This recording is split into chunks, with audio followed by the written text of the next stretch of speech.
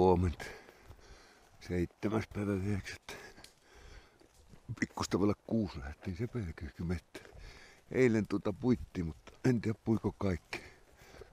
Otan tämän naamioverkon tästä matkaa. Niin tuon. Ja kuvia nyt ei ole. Oli pois lukkojen takaa. Joo, on ne puineet. Tähän me teen. Tuo pelto on vielä puimatta, tämä on hyvin puitu. Joo, miten? No, suojan tähän näin. Tai noita pajuja tuosta. No niin, naamiointi on valmis. Mitä se kello on nyt? Tämä olisi pitänyt tehdä jo eilen, mutta se on 21 yli 6. Kurje kävi rääkäsemässä tuossa, kun mä olin tekemässä tätä. Jos kurkea laskeutuu, niin eiköhän nähdä se pelkyhkyäkin tulla kohta. No, katsotte. Siellä et kiinni nyt. Joo. Jään ottamaan se pääkyykkyjä. Kymmentä vuonna pusikkuun tuli jo. Neljä ainakin. Ei lentäneet tästä. No, kohta niitä tulee lisää varmaan. Laskentunut ainakin parikymmentä. Toivottavasti ne lähtee jossain vaiheessa liikkeelle. Tuolla on koivikossa. on tästä matkaa sinne joku 200 metriä ei enemmänkin. Mitä, tuliko kylmä? Mutta laskeentu taas sinne.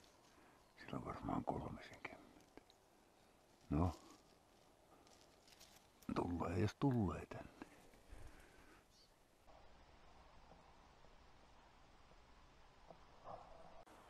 liikkeelle. En tiedä mitä ne säikähti, mutta ne laskeentuu uudestaan. Oli niitä 2.30. Taas ja taas laskeutui tuon. Koko ajan enemmän ja enemmän.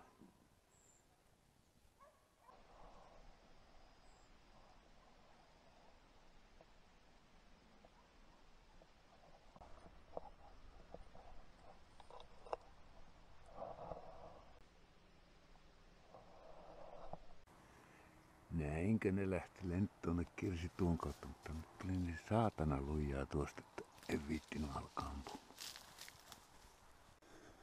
Joo, ei ne käyvät ylhäällä, menevät takaisin. Nyt me ajaa tänne Adolfin kanssa helvetti. Sieltä yksi lähti ja ei ne välttämättä pääse ampumaan, mutta jos jääpi vähäksi aikaa istumaan tuonne, niin varmaan pääsee.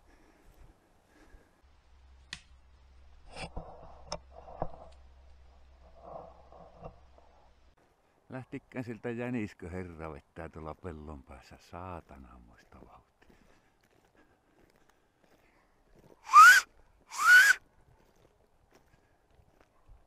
No ainakin se pelkyyhkyt lähti.